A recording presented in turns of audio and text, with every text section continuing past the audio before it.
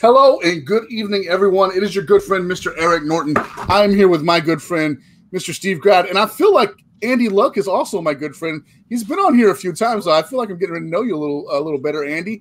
How are you guys doing tonight?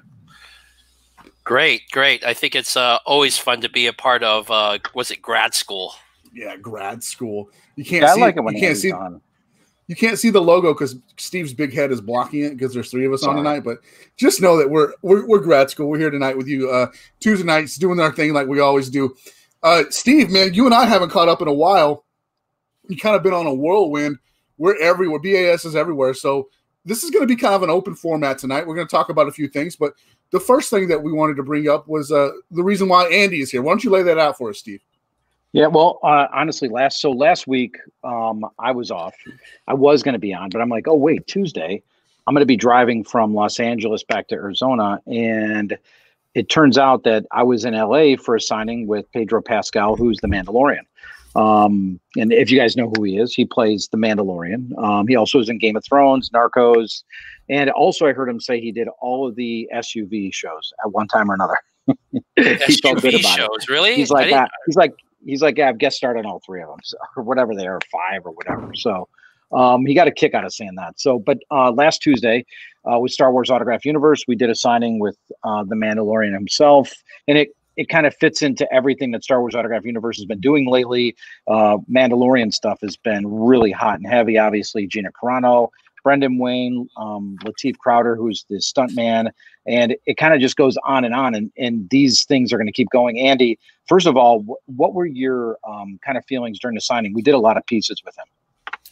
Uh, it was great. He, he was upbeat. He says that we were one of the first people that he's spoken to in over a couple of weeks.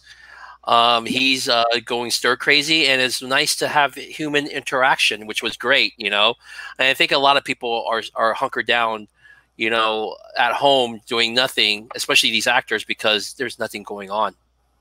Yeah, Eric. know? Like I- I- Eric, if you get a chance to look, check out the email I sent you. Um, yeah, I'm, I'm and I pulling did up put now. a few photos. Yeah, and let's show people kind of uh, the cool photos of him. Um, that you know just how his autograph looks, so people can get a look on that, and also uh, the photo op that I got to take with him. And I believe I was the only one who did this, right, Andy? What, which one? photo With op the, to show it. Was I the only one? oh, of, Eric's going to show you, it. of you second. wearing the helmet. Uh, yeah, put on that. So, Eric, there's the nice EFX helmets, which are really nice. And I mean, these things look like the ones they use on the show. They're really heavy. They got a good feel to them. I don't think they have the maybe the ones they use on the show. They have all that stuff on the inside. I don't know. Uh, actually, you know, Brendan Wayne and Lateef were saying that the EFX helmets are, are really, really nice. And, uh, you know, it's very similar to what they were using for stunt helmets uh, on the show. Okay. Yeah, you know So what? it's Actually, just as we're doing this now, look who checks in Daniel Logan, our buddy. So, uh, and Daniel Logan, if you guys don't know, played young Boba Fett um, in Attack of the Clones. So nice to see Yeah, Daniel, I who's mean, friends he with both Andy and myself. Yeah, he's a really great guy. And I believe he has a his own group, Bounty Boxes. So if Yeah, you're a big fan of uh, Daniel Logan and like figures and stuff like that, um, Daniel's the guy to talk to. You know, he signs autographs. He does a lot of his uh, own signings online. And uh, uh, he's a wonderful guy. Awesome. All Now, right, so Eric, what do you think the- of that photo op? that's uh it's it's uh, it's something different i can tell you that it's uh I bet you Daniel Logan likes it. I know that. But so, Very I- nice. so we all at the so at the end of the signing, he did some different people at the signing, and we uh, we had a chance to take photos with him, and and like everybody lined up, and I'm like, Andy, can I just grab a helmet here? And Andy's like, Yeah, go ahead, grab one. So I grabbed one of the helmets he had signed, I put it on, and I'm like, uh, if I take off, if I put on the helmet, will you kind of pull down your mask? He's like, Yeah, sure. So this is the way, yeah, as Daniel said. So, uh, really cool. Man. nice. He was just such a such a nice guy. I think that's one of literally the only glimpses of his face we saw the whole signing. Like he took a few drinks of water, but he turned his head away every time he did it. Um, Every time. And it and if you see on some of the stuff he signed, how his autograph looked, that's actually the only one I had that photo at the signing with the helmet off. And that's a funny story behind this too, Eric. It tells you like how these guys are acting, busy, doing stuff. Mhm. Um, so Pedro was doing Wonder Woman, which is coming supposed to come out pretty soon. Um, and he said he put on a bunch of weight and he was kind of bloated. But the day they filmed this scene where they take off his helmet in The Mandalorian is the day it was on Wonder Woman. So he took off a few days, went and filmed this, and he's like, "Look at my fat head." He, he, goes, I could barely, I could barely take the helmet off because my head was so big, and I was just, yeah, he was so big. He gained so much weight for his role in that in that Wonder Woman movie. So, it's a great story about about that part of it, you know. And uh, uh, he's a, just a, a wonderful guy to work with. And and know, of course, you know, go ahead. Eric. Go ahead. No, I, I was. I'm, I'm going to get into something a little more uh, fanboy. So go ahead, Steve. I, will follow but, up in just a second. But I did want to add Beckett. You know, we did Beckett witness a lot that day, so there's a lot of stuff, you know, bearing the Beckett name, and obviously, you know, about the partnership we have a Star Wars Autograph Universe. We have a dual cert, um, so you know, people be getting that back in the mail pretty soon. The stuff they ordered, so it stuff came out great though, because you know, it's really nice. Um, Beckett Authentication does a lot of witness events. This was one that was kind of special. I was glad to be at it. Um, I usually don't go to them too often, but going to this one was pretty cool you know, uh, so what I wanted to get into is, and Steve and I, you and I have talked about this a little bit. I have actually not watched this series. Is this oh. as big of a deal as, as, as everybody's making out it out to be, or am, am I am I am I am I the right one here? Because tell me, I think I'm wrong. I think I need to watch it. Andy, I think that if you love the original trilogy, you will love this. It's a wonderful story, uh, story making, uh, storytelling. The graphics, uh, the the uh, visual effects are amazing. I think you will get caught up in the story of the Mandalorian. I think you'll love it. Okay, all right, that's fair. Yeah, enough. I think Eric, I, and I'm surprised. Yeah, Eric, I'll tell you what it's a good story. It's got like a spaghetti western feel to it. Um, it's not typical Star Wars. Uh, it's so different than anything you've really seen Star Wars. Yeah, there's still a few weird alien creatures and stuff like that. The first episode you watch, look for the cameo with Horatio Sanz. He's in it. Um, just kind of a cool show. You know, Jon Favreau put some of his friends in it throughout there. Um, I think you'll like seeing it. Truthfully, just go watch it. Yeah, and Daniel Logan, who was kind of a Mandalorian himself in a movie, says the Mandalorian is dope. You yeah. are right about that. And, you know, we get a chance to talk about, you know, we're involving autographs in this. So, you know, obviously, um, it's a great show, but you know, collecting the autographs from it is pretty cool too. Because Andy, you could go down a rabbit hole with all these different movies, you know, and collecting stuff. And it, it, the Mandalorian is something that you could almost just focus on singly and enjoy doing it. Where Star Wars Autograph Universe is offering literally everybody that was in the Mandalorian, so you have a chance to do it through the group there. And there's the photo op I had at the premiere of the last Star Wars film um, at the after party. And he had on that was a robe he was wearing, by the way. It wasn't a jacket. It was a robe. what did he say to you? What did he say to you when, when, when he saw this photo op? I did, I missed this part, so I was busy uh, doing other stuff. But what did he say to you? He'd be like, "Oh, so you're that so, guy that was in the corner staring at me the whole day." So I had some photos down. He's signing them, and he goes, "Oh," he's like, and you know, Charlie Price was there at the signing, and Charlie goes, "Hey, take off your mask and show him." He goes, "It's you." He's like, "Oh, that's you." He's like, "Oh, that was a fun time." I'm like, "My friend wants your robe." He's like, "Yeah, I love that robe." so there you, you know, go. It's kind of a cool shot. You know what's that's great funny. about this guy is that I did not know I I didn't even know where he was from, but he's from Orange County. Yeah. Uh, in California, and I was like, "What?" And he goes, "Yeah, I'm the only person from Orange County that doesn't know how to surf." He's grown up here and he moved to Texas actually for a little bit, right? He lived in Texas in San Antonio for a good yeah, amount of time. Uh, and then came back to Los Angeles to do this acting stuff, where I think he's pretty pretty successful. Very nice. And very there's nice. what we were, we were talking about. So people that are going to get that. We do a co-brand with Star Wars Autograph Universe, and we do have it with a few clients and people that we have great relationships with. And um, ever since we started Beckett Authentication in 2016, um, Star Wars Autograph Universe has been right there the whole time, promoting it, taking in submissions. I mean, uh, to be honest, Eric, I, I, used to go to the Irvine office. We used to have I, an Irvine office. I, they might still have one, a drop-off office, but Andy and I used to meet there all the time. It was crazy. So we've well, come a long way. Yeah, Steve used to have this little small office that we used to do a couple hundred things, and yeah, you know, he would be there all day. Um, and it's crazy how how from that time on, moving from uh, working in that small office to where you are now, it's uh, it's amazing. What four years now? Five years? Four years? Yeah, it's almost uh, four years. Yeah, and plus the dual brand search. So that's really something. And I think Andy, as of today, just from the signings in the last three or four weeks, you've probably sorted close to a, a thousand pieces or witnessed. Uh, yep. You know, uh, Star Wars Autograph Universe. So that's that's we're really proud of that. So when you guys see that, you'll know it's the co-brand. Check that out. So yeah, that's a cool thing. Thanks for putting that up, Eric. I appreciate no that. No problem. No problem. Hey, uh, we're ten yeah. minutes in, and I, I got to do a sponsor break just right quick. Want to say thank you to Iconic Auctions for being a part of the show tonight. Uh, we really appreciate them. Go check out their latest auction. Get registered to bid at Iconic Auctions. I'm going to post the link right now in the comment section for you. And then also want to thank you. Uh, they say a big thank you to Vintage Vintage Breaks jumping on here, being a part of the show. In fact, Steve, I don't know if you know this. Vintage Breaks uh, and Leighton and, and the team over there, they're actually going to be a sponsor throughout the rest of the year. So uh, oh, I want to say say thank you to Vintage Breaks, uh, guys this contest that they're running right now, I, I got to post that for you as well. It's an absolute beautiful thing that you you need to go be a part of. Make sure you ch- you check the link and get entered. Uh, they are giving away some great things for you. Uh, ends up in two weeks. We'll talk about it again on a future show, but go check out that uh, link I just posted for you guys to get on on that as well. All and right, I've known, I've known, I've known, and I've known Leighton for God forever. Just going back many years, and we have great conversations in the past about collecting signed non-sports cards. He loves it. So you know, yeah. we got to get him on sometime and talk talk shop about that. That'd Absolutely. Absolutely. Yeah. We're, maybe we can make that happen next week uh, before the head of this contest ending. All right. So back to the Star Wars uh, autograph universe and Be- Beckett Witness. You guys have laid out a great, just stable of, of signers lately. Tell me about that, Andy. How that all come together?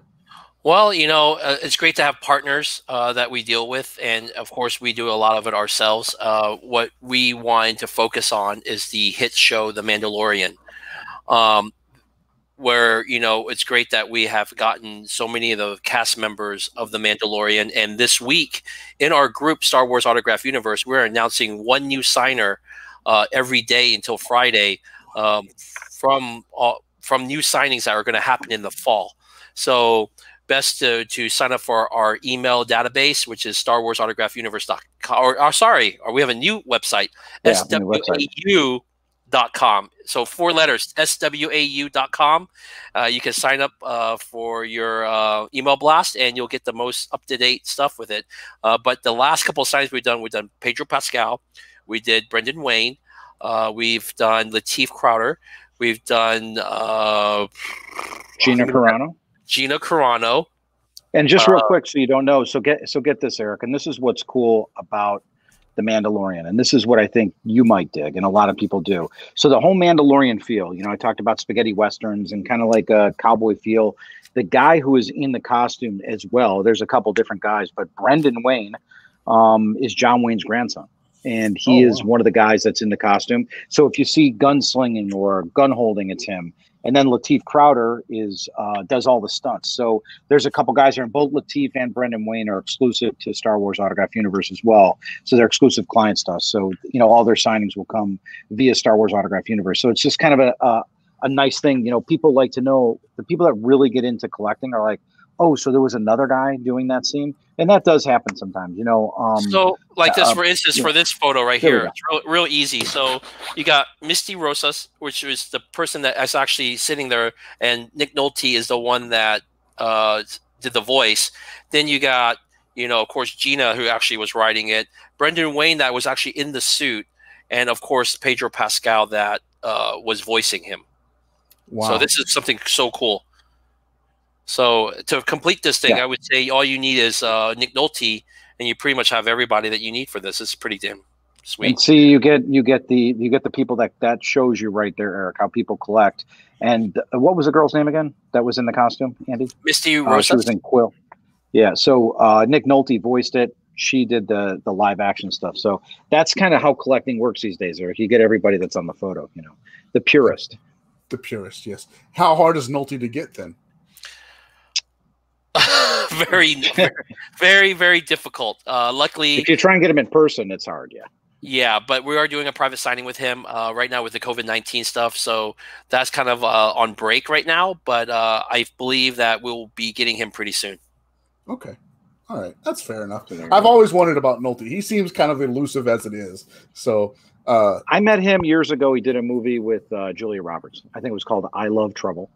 It's filmed in Chicago, and I ordered. I remember I love Nolte from 48 Hours, so I had four or five photos, and I remember where they were filming. He took them, he signed them, and I'm like, okay, cool. He did them. He did like four or five. I was the only person.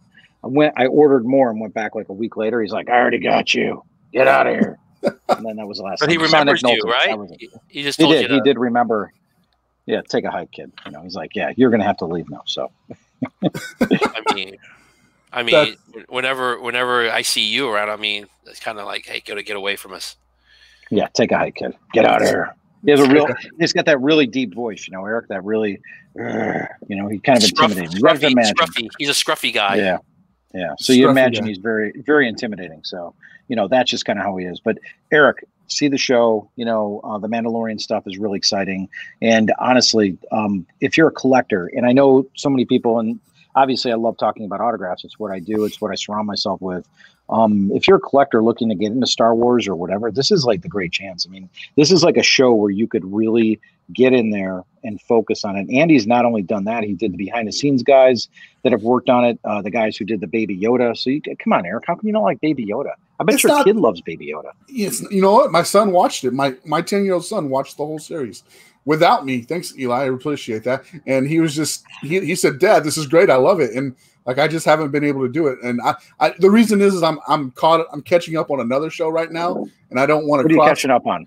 Uh, I'm catching up on the Americans. Uh, Oh, I the like it. American. show. yeah, I, a I like it a lot. Yeah. Uh, Okay. Keri, Keri Russell. Uh, if you guys like Keri Russell, that's the show for you. I, that's Hey, Keri Russell was watch. also in Star Wars too. So there you go. There's your connection with Star Wars. There, There you I didn't know that. That's, that's Yes. there you go. I, I remember her from Honey, I Blew Up the Kids, but uh, you know, that's Fine. neither here nor there. That's a long time ago, right? So yeah, yeah. I'm I'm catching up on the Americans. I will make time for the Mandalorian, I promise. But uh, it's it's on the list. It's on the list. I'll tell you that. just takes time. I mean, like I said, as I believe it's ten episodes, and every single episode has like a little cliffhanger, Okay. and you just want to see the next one. It's, it's that good. The storytelling, Favreau Eight, and, and right? Filoni Eight did eight, eight. I think they, I thought it was ten, but yeah, maybe, maybe eight. But Filoni, uh, Dave Filoni, and uh, Jon Favreau did a great job with storytelling, and the dir- uh, the direction, uh, the directors, uh, the way they did everything was was wonderful. I think you'll love it. All right, Eric. Don't forget. Yeah, maybe. Eric, Eric maybe- went to sleep on us. I think Eric lost our feed. Yeah, I think Eric lost his feed over there. Usually Eric loses his here. Usually Eric loses his air conditioning. So, you know, hey Andy, uh, but, you know, by the way, since I'll- you know you talk out of about this this. in a Oh, you're second. back, Eric. You coming back? there we go. We froze up. Okay. We froze up. You know, I did. I did want. I did want to mention something about Andy, Yeah. and this is Yeah, I'm back. something that's pretty cool. Um, and Andy has a massive. You know, it's funny. People that know Andy doesn't know. Some people don't know he's got this massive sports tie-in. Um, and Andy, can you just tell people kind of what you really do for a real job, not the autograph stuff, which is kind of just all playtime, but the real job, which is pretty cool. I am a Playboy uh, photographer, and I take photos for a living. No, no, no, no, no, no. I'm the director of operations for Formula Drift. We are the premier drifting uh, series in the world. Uh, we do races all over the country, and uh, we have our first one with fans going in St. Louis at the end of this month. Uh, so, you know, uh, I have a very busy job. I mean, I, I do all the logistics and all the organizations of the race, dealing with the city government, the you know the venues, the police, the security. Um, luckily, I don't have to deal with uh, much of the racing stuff that goes on there. Luckily, we have a great tech, uh, uh, competition director named Kevin Wells that does everything. But it's a it's a very busy sport, uh, and it's uh, you can see that live streamed uh, through formuladrift.com backslash live or you, i believe we actually have a show or we're still on air on nbc sports or cbs it's one of those but um, but it's a it's a great series to follow and you know i just got back from the track and uh, uh, saw the, some of the new cars the new supra is debuting at the uh, the st louis around uh, at the end of this month in St. at uh, worldwide technology raceway in st louis Can you and Andy just to give people? So Eric, have you ever seen drift racing before? of course. Yeah. Yeah. Yeah, it's pretty amazing. And I Mhm. years ago I'd never seen it. And one day Andy goes to me, he's like, "Dude, you're coming to the track." So I'm like, all right, what time I be there? He's like, I'll just get there at one o'clock. So I get there and it's raining out.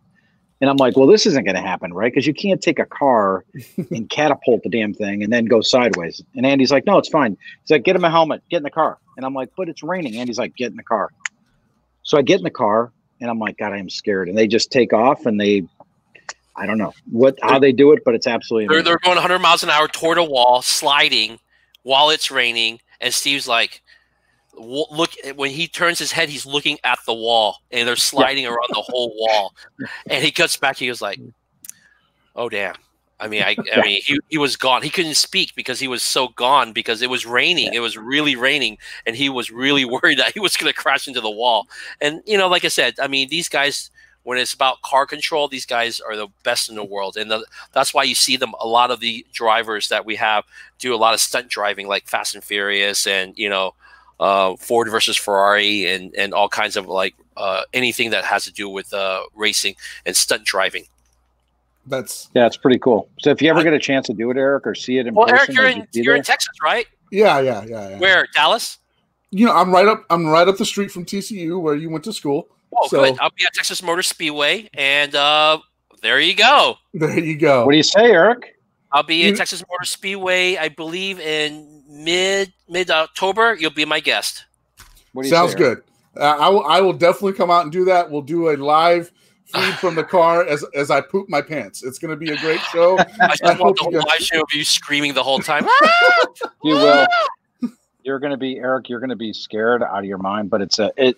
Honestly, it's a great time and it's really cool. Um, and I've been to the events last I think last October I went to one uh, out in California. It's just always a good time. It's a great time to see it. I'm glad that stuff's coming back. Now, Andy, the thing is, we talk about this thing with crowds now. Baseball, no crowds. Obviously, basketball, hockey, all this stuff. You guys are going to have crowds where this year? We are only going to have fans in St. Louis and in Texas. Uh, California is still shut out, and St. and Seattle right now, as of right now, is is is is no no fans. So okay. right now we're hoping Seattle opens up we don't know yet, but we'll know within the next two to three weeks, and then we'll go from there. But as of the first one, St. Louis will have 25% of capacity. Okay. Okay. That's going to be pretty interesting. I'm going to do this, Andy. If you if you will have me out, I'll come out and sit in a car, and I'll uh, I'll, I'll, I'll get this done. I kind of I kind of want to see you poop in your pants because we actually you know that would be very awesome live that you put your pants like oh man i put in my pants you know? Because steve had yeah, that eric are you sure you can handle this? Yeah i can oh, yeah, i was if you can get a fat guy in the car i'm all good i'll do it. Dude i okay okay so i think you should watch some videos before you get yourself into this. So you should watch some videos go uh just put on youtube formula drift uh texas and then you'll see the track and you'll be like I don't know, man. You're going 100, 100 miles an hour, going sideways, and then doing all these turns. And you know, if you have motion sickness, you're going to throw up everywhere. It'd be so amazing if you threw up all over yourself. Let's. Make, I'll do it for, for not... the lo- for the for the love of the show. I'll do it. okay, you have to video it though, Eric, and we want to see that video. That's fine. Will BAS buy me a, a, GoPro and I'll just wear a GoPro? You know, I'll bring one. Don't um, worry about it. I'll put you. I'll give you the chest one, yeah. one. So when you're throwing up, it'll be just you, will see the projection of the of the GoPro. It'll be amazing. I'm, I'm i just want to hear him cry. I just want to hear him cry like a baby. That's all I want to hear. yeah, but you know, don't worry. Some... I, I will be there, and I will make sure that you will be there at the event. It'll be amazing. All right, I'm down. Let's make it happen. All right, buddy. Let's make it happen. I like hearing that. Good man. Good. anything, good, good, good, Anything else we need to like put out there so I can uh, possibly die or uh, have my wife be upset about? well, you're going to be signing waivers anyway, so I really oh. don't care if you die or not because you can't. Wow. You can't yeah, wow. How, Andy? How do? Speaking of what you do, is is graphing a big thing? Like with these drivers, is, is it kind of a, a well? We do we do we do do an autograph session on um, on Friday usually, um, and it's actually the time that we actually sit down all of our pro drivers for them for somebody that has like a skateboard or card or T-shirt. You can get the all the roster of the all thirty something plus drivers from all over the world, and that's the cool thing that a lot of people love.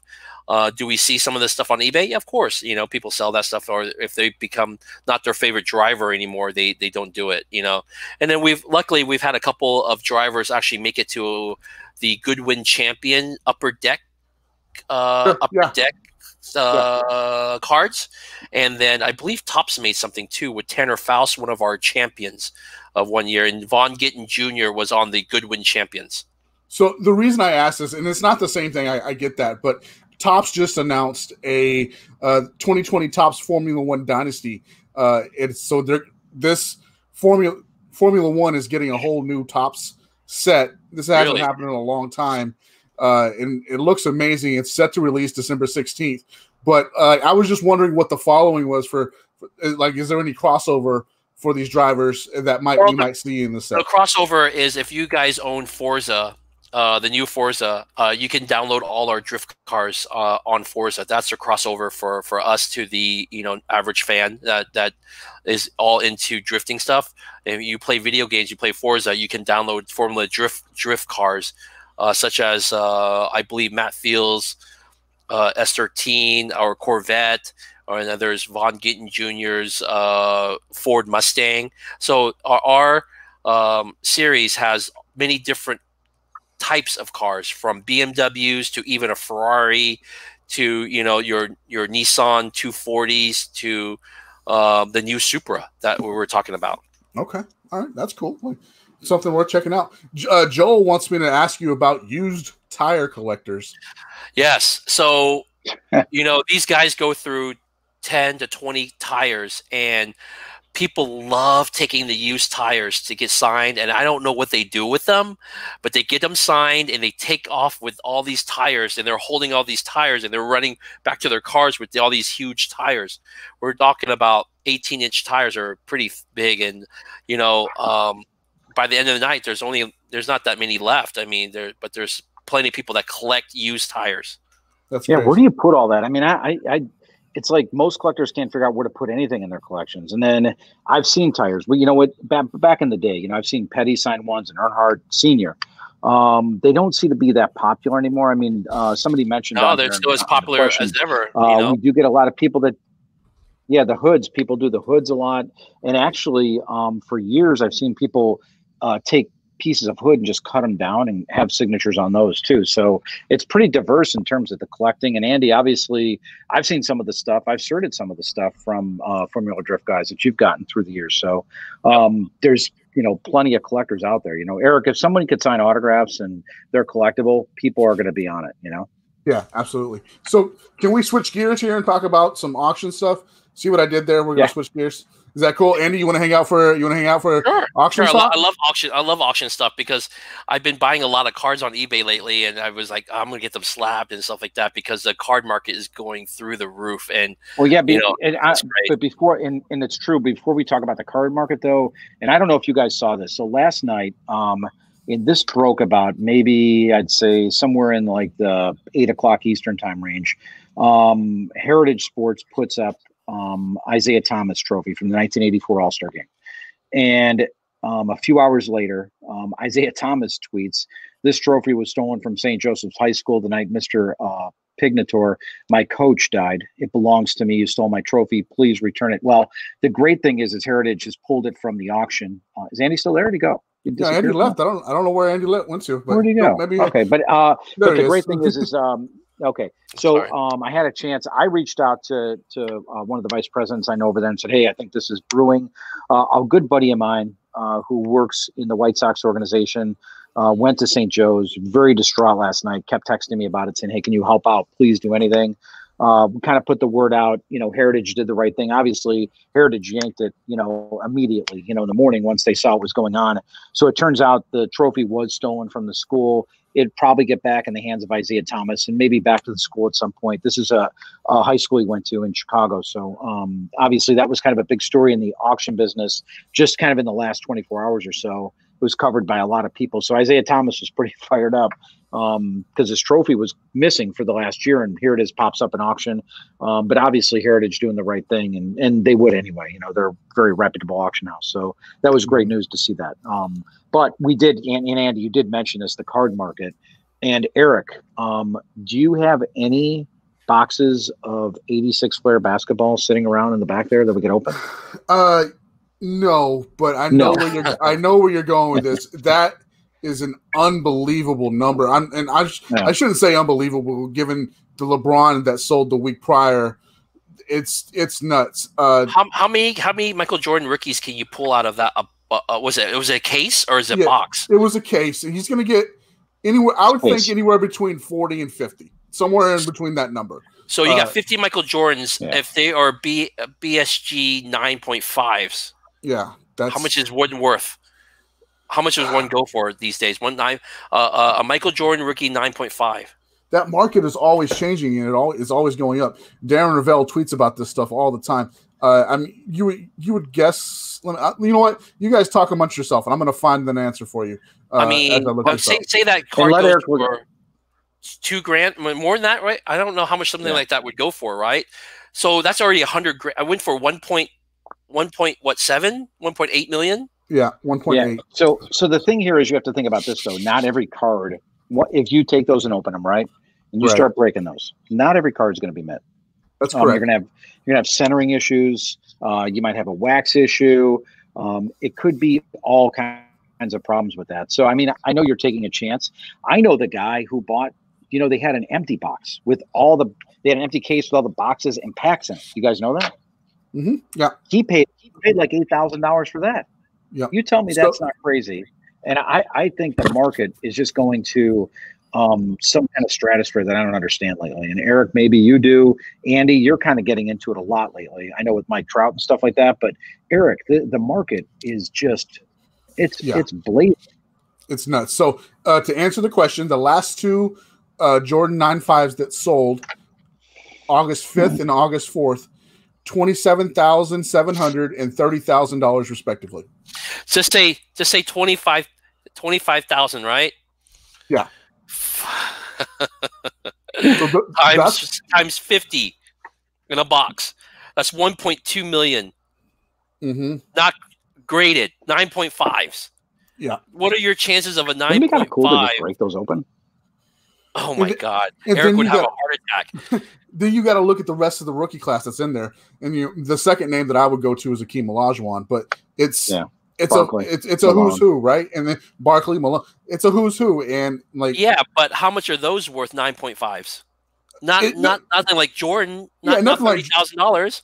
that's right. The- They're not like Jordan, but they're you know a couple grand a piece, maybe you know maybe three to five grand a piece if they're if they're nine five. So it's- it's still a great deal. And then you got to think about the Jordan stickers as well. The Jordan stickers that are in there, they're not they don't sell like the Jordan rookie, but they still sell very well. Well, just in the same sale too. If you look, and I, I did send you a link on that one. Uh, the Jordan sticker, they had a signed Jordan sticker. Uh, Mhm. Was I believe the autograph was graded at ten by Beckett. Um, that sold for twenty thousand dollars signed. So th- that's like a new record for that. So I'm I'm seeing stuff, and you know, obviously Oh we see my these trends in these auctions, how stuff goes. I know, and, and here's what I think, Eric. And this is a it's a, a long time ago story. I want to say it was about '88, and back then the Bulls flew commercial, and um, I was at O'Hare waiting for you know, and the crazy thing is you could find their flights. It was easy to find them, and I think the Bulls were flying out. There we go, right there. That's 20k. Well, this card, and I had his rookie, and I had a little four sheet book with me where I could put four cards, and I had his rookie on there, and I had that card. Jordan goes, uh, "You don't want me to sign that one? That's my rookie. I'll just sign that one." So he signed the sticker, I remember, and I got it signed by him. The the thing is, is we used to go is, and you know, I I've relayed a lot of Jordan stories through the years, but we used to be able to go to the airport. Uh, I didn't go much because we could go to the practice facility anytime. Literally, and I, I mentioned this before. They they practice at a place called the Multiplex in Deerfield, Illinois, just outside Chicago. Um, literally, like if you were pulling up to go to your gym, that was the same thing. They would just pull up and walk inside. There was no security. There was no sign in. Nothing. They just walked in and went to practice every day. So um, we were able to get Jordan all the time. I see this card selling for twenty thousand dollars, which is just crazy. And then uh, Brent Fuller asked a question down here, and if we were able to highlight that, I see it. Does the value of the same uh, of an autograph trading card on the back of the card? So I think basically you're asking, is the value the same? And I think, quite truthfully, the best place to get the card signed is on the front. You don't Yeah. want to get them signed on the back. And but then there's a whole argument against that too, Eric. And you know, I've seen that before where you're degrading. You know, Michael Jordan even in '88 said, "No, you don't. You don't want me to sign my rookie." He said it then. So you know, a lot of players didn't sign their rookies, and now uh, what I've seen over the last five six years is a glut of fake uh, Jordan signed rookies with fake upper deck stickers on them, and you know I've probably seen, I don't know, so over the last five six years, probably 150, 200 of those that are just bad. So they're out in the marketplace. Um, this is a neat card though, and I always love this card. I you know I love the other one too, Eric, the uh, the, the slam dunk on the rookie, but Mhm. that that that that's a great card. Man. I love it. Twenty thousand dollars though. That's a great price, and it's hard to believe when you start looking back. And and if you're able to pull up, there was two others that sold in the sale. Um, these were submitted by somebody I know. He collected back when I did back in the day. And um, the crazy thing about Michael Jordan is like the 90 hoops. I think these were 90 hoops or 91 hoops. Um, or what was the first year of hoops? 89 was maybe 89. 89, 89 90 was the first year. Yeah. And So this is 90 91 is the silver and gold. Um, Right. And Give me one second. just look at the for you. prices realized. Yeah, and you and I know it takes a second, but look, Andy, look at what this stuff goes for. And um, when we looking at it right this up, now. I think it was away. thirty seven hundred. Thirty seven hundred dollars, I believe, for that card. Uh, that's the sticker, or that's the All Star. And what was that? Yeah. Twenty two, That was 27, That's a record 2300. Yeah. twenty seven. Yeah. I mean, that was also is graded a, a nine too. It was graded a nine. Yeah. That was a nine. Wow. Yeah. And then here's How the. crazy uh, is that? Yeah, that's that's nuts. Let me, one more to show you guys here as we're talking about crazy Jordan prices. Nothing new, uh, as we, this has been happening for a while, and then uh, the Last Dance came out, and we're all kind of going crazy here, uh, watching the market explode. But to see what I think what you're getting at, Steven, correct me if I'm wrong. These kind this kind of low end low end brand of card, it's still pulling thousands of dollars is, is really cool. Yeah, it's it's crazy, and it's unlike. I'll be quite truthful. I haven't seen anything like this. I asked Scott Malin from Mill Creek. I said, Scott, I asked him the other day. I said, look at these two cards, and we're going to have this one up. Look at that. That is insane. Mhm. That is just something else. So I said, Scott, let me ask you a question. What do you think that card was worth a year ago, even if it was a ten? Scott said maybe twelve hundred. Um, and uncertified, something like that probably sold for like six hundred, and maybe even no grade would sell for seven, eight hundred. That tells you what's going on right now. It is just something else. Yeah, and I, I haven't really seen anything like this. You know, like a, a So run on here's a stuff. question We're looking you, at the Steve. cards. Here's a question for you. Yeah. So, when Jordan passes, i- how is the market going to react? Is it going to be crazier than the Last Dance, or is it going to be just a slight uptick because his autograph, Michael Jordan autographed jerseys were fifteen hundred bucks, and now that you can't find them for less than, I think you buy them on the Upper Deck website for eight grand. Yeah, it's insane. I, I think, I, I mean, I don't want to talk about it, but I mean, if it does come down to that, Jordan passes away, and obviously people stockpiled, I still think his stuff is going to go up and go crazy. I really do. He's a transcendent athlete. He's someone that is a Muhammad type. You know, he's a guy that just comes along every once in a while, Mickey Mantle type, icon like. And uh, you know, somebody comment just right now in our comments, Nate Diggity, uh, like Michael Jackson's, you know, record sales, and even I always go back to that in 2009 when Michael Jackson passed away. His autograph went. It was already decent, but it just went insane. You know, and albums were selling for three thousand dollars and four thousand dollars, and it's just uh, really crazy. I think the same thing would happen with Jordan. And for those of you that have them, that are able to um, actually hold on to those through the years, I think you should. Because I, I just can't see his stuff going down, Eric. I really can't, unless you know we're talking about something that's foolish or something you overspend on. And you know, Andy, you, you need a Michael. Don't you have a Michael Jordan autograph or no? I do, but my wife doesn't know about my Michael Jordan jersey. Oh yeah, all right, good. Uh, She's yelling at me right now, Well, but I'm just joking. She knows now. Grad school causing you do have divorces nice since one. You have a magazine, 2020. right? Yeah. Yeah, but you know, so so so here's a question I think, for you. I then. think if it, Sorry, let me let me let me. I'm, I'm, I'm my, my my little mouse is spinning right now. So if you're the guy that bought that case, Mhm. do you open it, or do you keep it sealed? So this is the big question that we've we've had in the hobby the last well since since last Thursday when when the thing sold. I think I think it's kind of split down the middle 50-50 on what guys are are willing to do. Me, I take the chance and I open it because because I I can't I can't if that was sitting there I could not just let it sit there. You're Well, one of those the- people who be like, I'm just gonna open one pack, one box, Yeah. just one box. Exa- I, I'm gonna tell you something. I, look, this has Or nothing. would you to just do be would you just be shaking? You'd I be like would. one box and then like 20 meter, it's all open packs everywhere. Would you like wear gloves and wear like a whole suit so you don't contaminate the the, I- I- the, the card? I would go full Walter White opening that opening that case. But see, this is a prime example. I bought cards today, and I, I bought them packs. I was going to let them sit.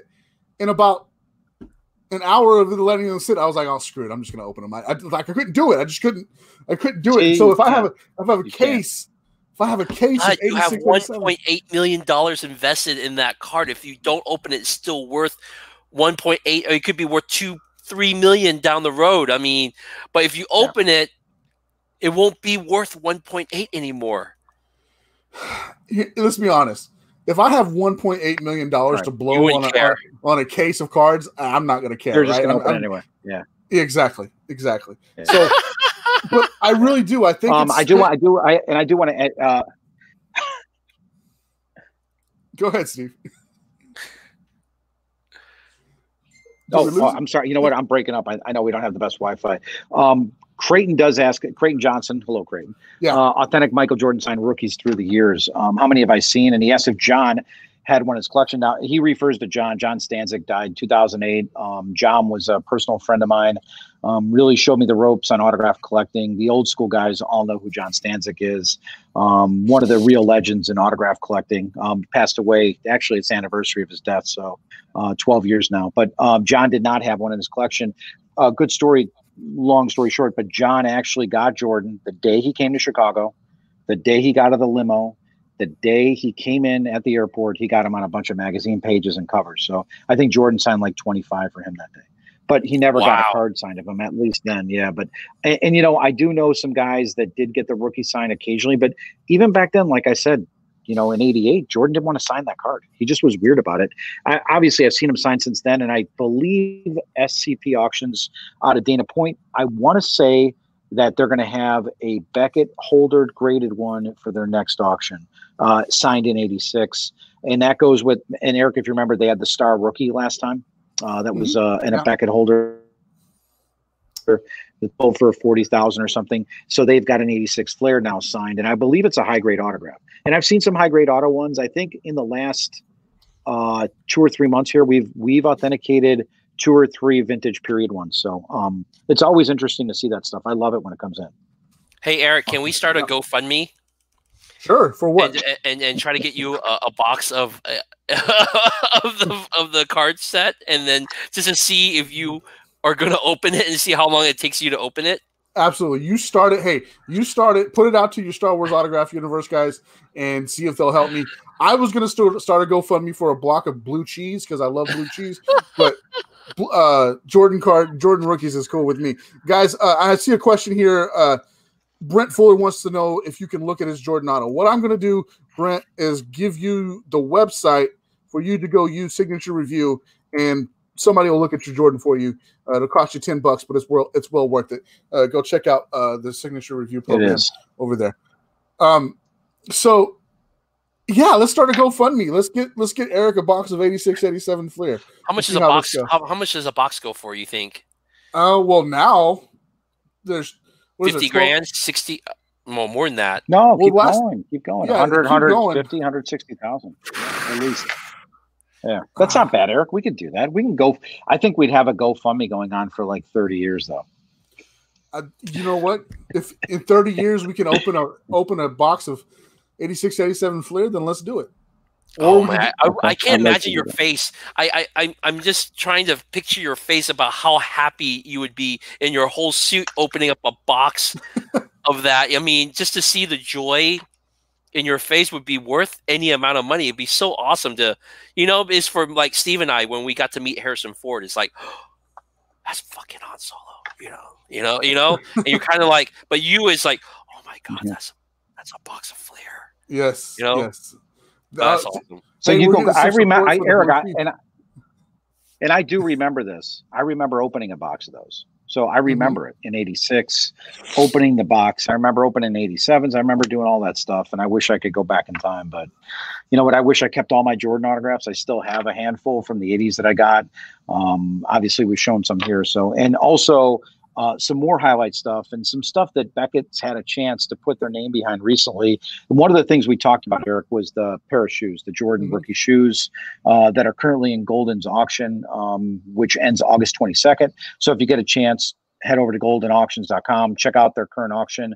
Um, two pieces in particular that I really like in that auction a lot is they have a Jordan game used jersey signed, you know, Jordan, and a pair of shoes. So rookie shoes, which I know the source, I know right where they came from, and, and you know Eric will be able to pull those stuff up for you in a second. But really neat stuff, Andy. Um, and there's the shoes, Andy. And I told you about those. I had a chance to authenticate those shoes uh, back in May. its current bid is hundred and forty thousand dollars.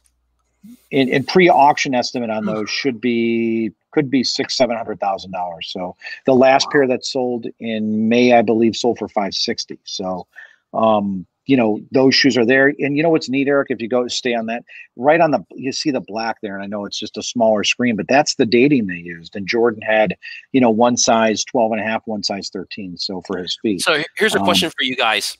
Okay. So, so since Eric's the card guy and you're the autograph guy, why is a game used Jordan jersey that Michael Jordan actually wore that was official cost less than a Michael Jordan signed card? rookie card because I'm looking at this Mike Trout, $1.4 million. You could pretty much buy, with that $1.4 million, you could buy all the game used Michael Jordan stuff that he actually wore and sweat on compared to a, something that's slabbed and signed by Mike Trout that is only five. That's actually a good point. You could buy probably this game pair, let's say this shoes goes for 700,000 or 800, the other pair went for 560, you'd still be able, you'd still have the trout. You know, I mean, that's crazy to think about, isn't it? I mean, you could buy a game used Mike Trout jersey, oh, the jersey that he sweat in, and he could tell you what game it's from for twenty thousand dollars. and you're telling me that his rookie card is one point four million dollars. That's without the fees at the end. So that's probably like more like one eight now, right? Is that about what it is? with I don't know, they charge what twenty five percent. Yeah, the buyer premium is twenty percent, I think. So it's something like and that. A, yeah, it's about LeBron and there's the jersey as we see it. I mean, you could you could you're probably and that's crazy. You could buy the jersey and the shoes in this auction and probably mm. still spend more on a LeBron card. So that just it really kind of shows you where that's things are weird. at. And I remember years ago, memorabilia took a huge leap um, and and kept going up in price. You know, after 2000, after the um, the Barry Halper sale, and I still think it's coming into its own. But you could still buy, spend more on just one baseball card than you could a jersey or a pair of shoes. Personally, for me, I think I'd rather have that game used jersey. You know, I mean that's I an artifact from him. Yeah. I mean, look at this ball right now. The 50 NBA 50 greatest players ever, including Jordan, Chamberlain, and it's at 10 grand. And, yeah. and then and then next to it is a Hank Aaron rookie card mint uh, number nine It's going for hundred and sixty thousand dollars. I just don't understand the um, yeah. the variance on it. It's here's one thing I crazy, understand. Right? I think I got into the wrong industry. I should have stayed with baseball cards as a kid and gotten away from autographs. That's you know amazing. I'm gonna I'm gonna show you guys what Andy's talking about right now. I'm gonna pull it up on the screen so uh, the the viewing audience can check it out. Uh, but this Andy makes a great point right here. This uh this ball is ten thousand, and this Hank Aaron is one hundred and sixty thousand. That doesn't make a whole lot of sense to me either, Andy.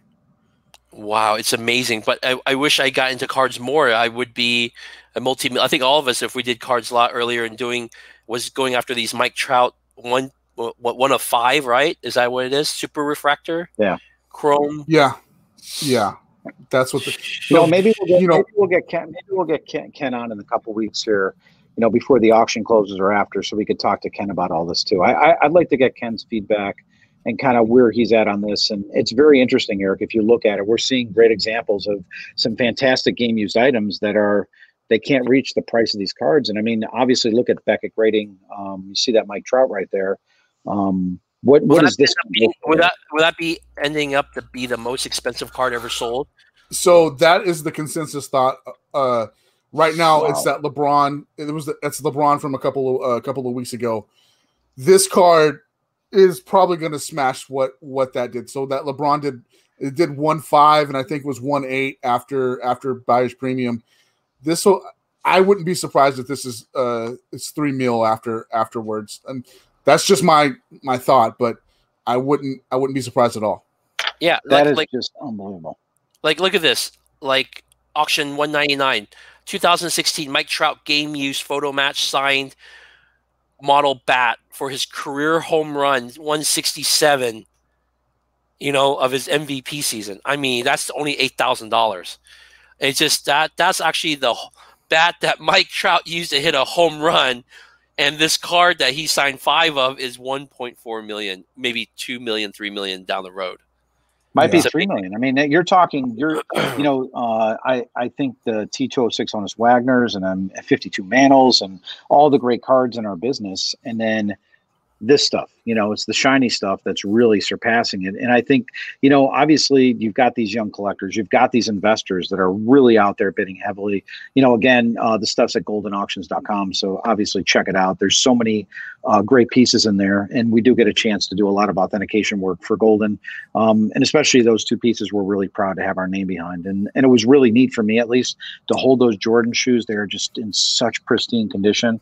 Um, they look absolutely amazing. I mean, I held them in my hands. So, um, you know, and some, oh, Tim, oh, here's Tim right there. Re- rely, what did he say? Reliability. More people relate with Trout. You might be right about that. So Trout's very popular guy.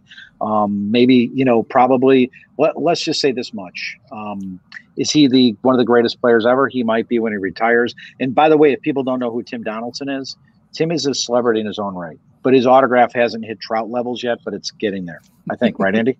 Value wise. I would think value wise, he's he's he's getting up there. I don't think he's Mike Trout level, but he he'll be up there pretty soon. We've had two former Star Wars actors check in here. So Daniel Logan was the first one. Mm-hmm. Tim Donaldson was actually in the first Star Wars movie. He played uh, a Jawa. He was five years old. They went to Death Valley School and said, "Hey, we got to fit these kids in these costumes." Tim was lucky enough; he got one. Um, still remember some of it. So, you know, um, Tim's a good friend of ours, of both Andy and mine, very good friend, um, and his wife, great people. And uh, he got a chance to be in Star Wars because he lived in Death Valley at the time. So, pretty very cool. Nice.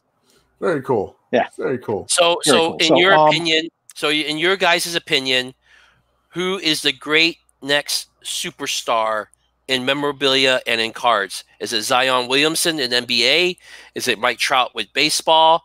Football, there isn't anybody that's a true, true. Well, Mahomes, Mm, is Pat, that right? It's Pat Mahomes right now. yeah, and I Yeah. think Mahomes could be, but is this card going to be two or three million someday? Are they going to make him like that? I don't know. That's hard to say. Um, could it be Zion Williamson? Absolutely. There's no doubt about it. I mean, but you know, right now with COVID, it's I think it's still hard to get caught up in that. I think once the NBA has a full season next year, um, and he's been hurt too. He's had injury issues too. So I, I think he's got to play up to that hype. You know, he's got to be still like look how LeBron, how LeBron James is still so dominant. He owns the league still. I mean, he he does everything. Um, you know, maybe in baseball, a guy like uh, Yelich or at some point, you know, guys like that um, that are coming up, and uh, Luis Robert from the White Sox, maybe. Um, unfortunately, his autograph is just you know looks like a, a couple half moons, so it's really ugly. But um, that's how these guys sign. So So also here's another question that uh, because I'm reading people's comments is what which card company is pretty much the card company that have the most expensive autographs are coming out like these Mike Trout ones are what Wh- which ones are they I mean are they Bowman or what what, what company is it right. um, so yeah, you- you're you're talking about uh, Ariel. Yeah, Ariel Martinez is uh, asking that question there, and that's a great question. Um, so there's, I, it all lies with the licenses, uh, in the in the, the player licenses and the uh, in the, the league licenses. So for baseball, Topps has those has both of those licenses, and you will see more value in a Topps Chrome, a Bowman Chrome, than you would see uh, in a, a Donruss or something like that that doesn't have that doesn't have a, a the the league license. With that being said, uh, for basketball and football, it's all Panini all the time, and that's where you're going to find the big value there uh, for autographs and, and, memorabilia because Panini has the NBA license and the NBA Players Association license. The same with the NFLPA and the NFL license. So uh, it, it really depends on the uh, sport that you're looking at. But uh, basketball has been so hot, like it's been crazy hot since since the end of March. And Zion and Ja and Luka and Trae, they've been driving the market. And, and and Pat Mahomes, he's been driving the market. But the last week, baseball's really, really been taking off. So it's going to be interesting to see how the next couple of weeks play out with you know the NBA playoffs starting and the the bubble the the bubble coming to an end and and baseball you know getting into the playoffs maybe uh, with a bubble format. Let's see what happens there. But that's that's the best way to answer that question, Ariel. Wow, that's something I never knew. Yeah, that's, that's, great. Stuff. Hey, I, mean, I wanted to. Stuff. Sure. You need to get updated with that, Andy. Come on, man. Uh, I do want to update people um, that want to come out and see us or want to submit to us at least. Um, you know, obviously we have limited contact events, uh, but we will have a few events where you'll be able to submit. Uh, you're not going to be able to interact with me or anything, but I am getting out on the road, and we do have guys out on the road this week. Um, I'll be in Springdale, Arkansas Thursday at Cleve Sports Cards.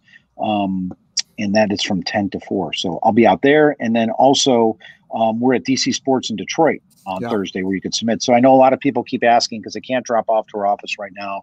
Um, we're in Arkansas, we're in Michigan, and then on Saturday I'll be in Hot Springs.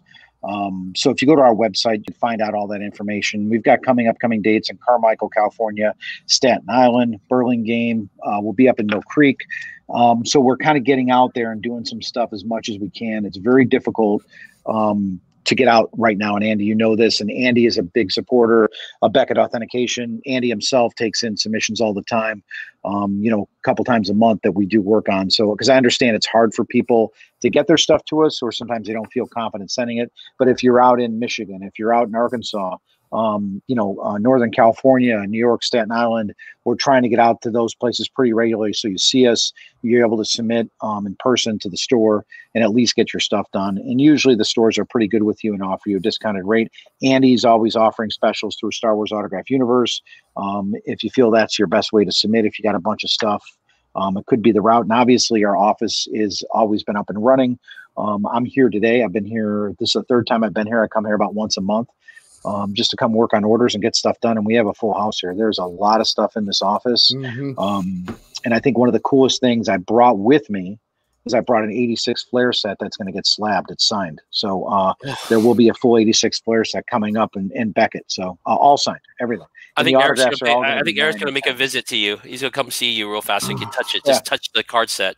Just, just touch They yeah. get mad at me when go. I when I'm opening the cards for you know when we're doing box breaks and I and I touch the patch in the card, they get mad at me if I do that. But I'm gonna let really? y'all know uh, I'm gonna go touch all those cards. I'm just gonna look at. I'll wear gloves. Smell it. You're just gonna smell, smell it. Yeah, well, maybe if you were just at Bubba's and then touching the cards, it would be bad. No, yeah, so don't go to Bubba's. That's awesome. I mean, uh, this card stuff is just so crazy. Like people complain about fifteen hundred dollar Harrison Ford autographs when, when out there there's one point four being spent on a baseball card. It's just pretty good amazing. point, actually. Yeah, I agree with you. That's it, it is amazing. It is one hundred percent amazing. Andy, you're getting a lot of love, man. They want you to come back and do this more often. Uh, yeah, you've been on the show. This this come is like the third or fourth time, right? Um, I had to do one by myself, I think, yeah. with you, uh, because I was covering for Steve because he went on a, a, a spiritual uh, awakening thing. Uh, but I was that really it's called enjoy, a vacation. Yeah, I really enjoy talking about sports autographs because I I'm uh, I, that was my first love. You know, Star Wars is my second love, uh, and I collect a variable from sports to entertainment. So I'm pretty broad on what I know about autographs. And uh, Steve has taught me a lot about the the behind the scenes stuff and what to look for. You know, it's just like when we talk about autographs, people go, "Oh, I want to collect this TV show or whatever." Well, if it's not a classic TV show, then it's probably not worth much. But once they get right. canceled, it's worth nothing. Right. Yeah. All right. We're gonna wrap things. But yeah, we'll have Andy back on soon at some time. Yeah. At some point. Steve, they are turning off the lights on you just, there. I, I know. I just lost my lights in the background, man. I, I think you. if you're you're still at the office, so they're kicking you out of there. That's what's happening. Uh, yeah, so I this is have what I on that. The the uh, the maid for the the cleaning crew just came in a few minutes ago. So Oh, did they really? Okay. All right. So Yeah. I guess that's time for us to wrap it up then. With that being said, I want to give a big shout out to Vintage Breaks and Iconic Auctions again. Uh, I'm going to put that link right now in the comments again for, for from Vintage Breaks for you guys to go into that contest. It ends in two weeks and uh, go be a part of that. It's a lot of fun. We're going to get Leighton on the show soon. Andy, I look forward to seeing you in October. I'm sure Yep. we'll talk before then, but Yep. uh, you guys get ready for me to uh, deuce my pants because apparently that's going to happen. And uh, I guess that's not that's pretty, it. Eric. That's not. Yeah, and not. don't for, don't don't forget, come check out our travel schedule Beckett hyphen authentication.com. If you can't submit to the office, you want to see us in person, this is a perfect opportunity. Um, but like I said, no contact, got to submit to the store, but we'll get your work done for you. So we appreciate it. And obviously, Star Wars Autograph Universe, go support the upcoming signings and join the Facebook page if you get a chance. Appreciate it. Absolutely, guys. If we didn't get to your question tonight, uh, we'll, we typically go back and answer questions. So uh, just look for those in the comments. Until next time, guys. Good night and God bless. Later.